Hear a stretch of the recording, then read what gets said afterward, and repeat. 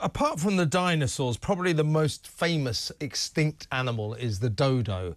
Uh, the dodo was last seen uh, in 1662 uh, on the island of Mauritius. It was very plentiful there until Dutch settlers arrived, uh, bringing with them cats and rats. Uh, and uh, their eggs were eaten. These poor birds, uh, they were flightless, they were slow. Uh, frankly, uh, they were no match uh, for uh, the new arrivals, and uh, they went extinct. 1662. Well, now apparently a company called uh, Colossal Biosciences they have DNA samples taken from the last birds uh, that uh, and they plan Jurassic Park style to bring it back to life to uh, make uh, the dodo de to de-extinct the dodo. So that expression "dead as a dodo" will be rendered redundant if that happens. Uh, but let's find out a little bit about uh, the flightless dodo bird uh, and these plans to revive it uh, by talking to Dr. Neil J. Gostling. He's associate professor of evolution and paleobiology in the School of Biological Science at Southampton University. My God, that's a long job title. Welcome aboard, Dr. Neil. Thank you for joining us. Nice to meet you. Hello there. Thank you. Uh, Thank you. well, there's there's a dodo. Fantastic. Uh, well, first of all, how tell us how it went extinct. Uh, explain Okay. its demise.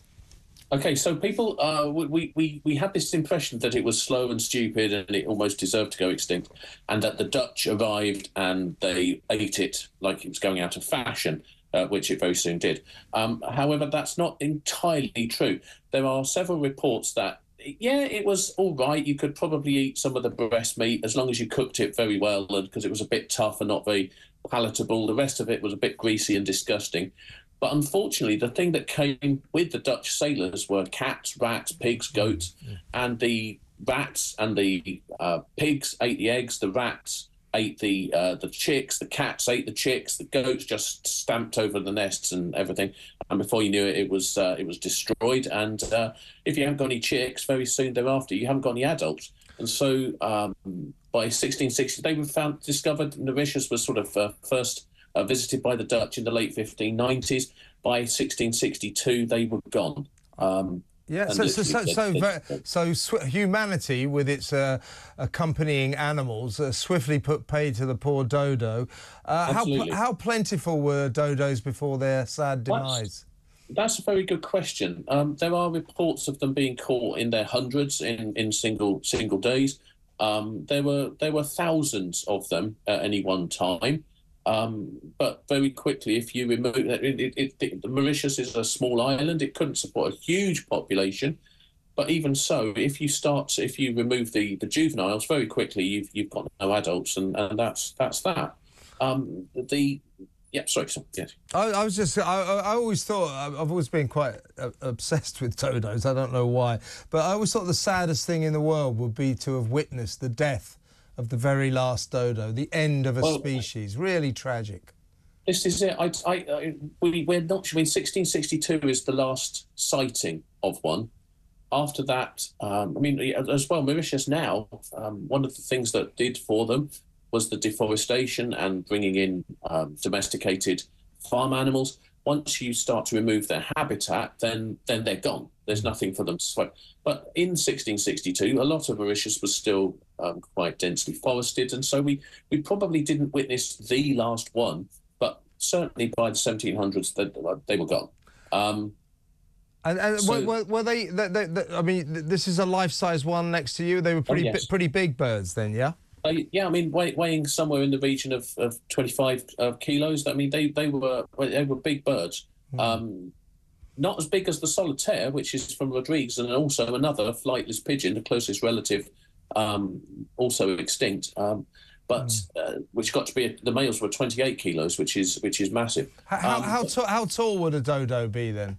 Um, it would probably have stood somewhere in the order of 75 centimetres, something like that. Okay, okay, pretty big birds then. Uh, Yeah, uh, yeah, very much so. uh, as I say, very sad that they've gone, but I, I, I'm uh, I feel personally dubious about the idea of bringing them back. What, what do you think about this sort of Jurassic Park style thing? Take their DNA, recreate it. I mean, I gather it's scientifically possible, but uh, why, why, why would you do that? Okay. so that okay, so there's two things here. Number one, I don't think the colossal biosciences are not claiming to bring back the dodo. What they're going to do is the same with the mammoth. They're not going to bring back the mammoth. The initial issue um, that with with with the uh, mammoth, the closest relative to the mammoth that's still alive is the Indian elephant, and so they are hoping to sort of introduce mm. mammoth genes to the Indian elephant and make a mammoth mammothified Indian elephant. They're going to try and do the same, as I understand it, with the Nicobar pigeon. And the Nicobar pigeon is a glossy, shaggy, feathered, mm. um, very beautiful bird, about the size of a wood pigeon. Right. And it's the closest living relative to the dodo now. And so I think, um, from what I've read, they're looking at trying to make that more dodo like. Right. And that's it's an interesting science idea. I'm not quite sure uh, I certainly wouldn't want it to be done and then for these animals to end up in the in a zoo. I would, if if they're going to do it, um, I would hope that they would be able to put them into a natural environment. Yeah. What, what, what, do, what do you think generally, Neil, though, about the, the, this? I mean, the, the, bringing back of extinct animals or, or well, close so, to extinct animals. So the dodo is the first animal that we witnessed as being present, humanity witnessed and recorded as being present and then later on recorded it as being absent. The funny thing is that uh, we've recently had a paper published actually on the taxonomy of the dodo, and in the 200 years between the the monograph, the big work on the dodo being written, and the dodo disappearing, so 1660s, big monograph was written in the 1840s.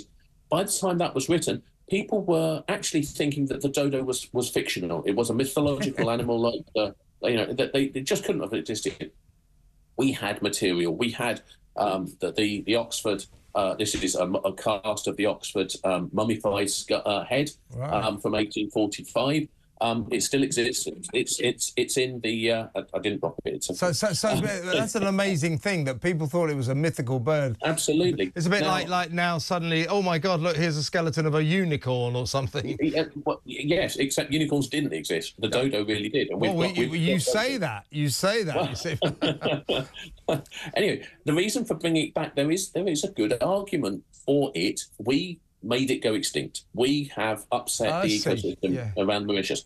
There is a tree called the Calvaria tree, and dodos ate fruit. Dodos ate the fruit of the Calvaria tree, the, tr- the plants, the, the seeds travelled through a dodo, passed through a dodo, passed out the dodo in its in its uh, droppings, and that's when the they germinated. Right. There are no young Calvaria trees. So the idea is if you could possibly bring back the dodo, if you could bring back these extinct animals, and there are other you arguments. You can repair the ecosystem. You can repair the ecosystem, yeah. absolutely. Okay, well, that, that, that's a really interesting argument. Listen, Neil, I'm, I'm going to have to go for, for time uh, alone, but uh, come back on again soon and let's uh, talk yeah. about some other extinct animals or animals they're going to bring back. That was fascinating stuff. Thank you very much for your time.